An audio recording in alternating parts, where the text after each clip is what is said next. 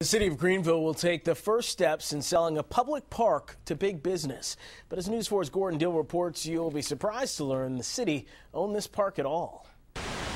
In some respects, this hotel lobby is an obvious copy of a real park. The vegetation and waterfall protected under glass like a classroom terrarium. That's the real trick here because this is as real as any city park. In fact, the lobby at the Hyatt Regency Greenville has always been owned by taxpayers. It is unusual. You know, back in the 80s when the deal was put together to finance the Hyatt, there was some unusual relationship.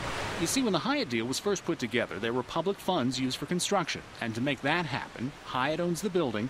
The city of Greenville still owns not only the atrium, but the conference rooms and the kitchen, then leases them back to the Hyatt.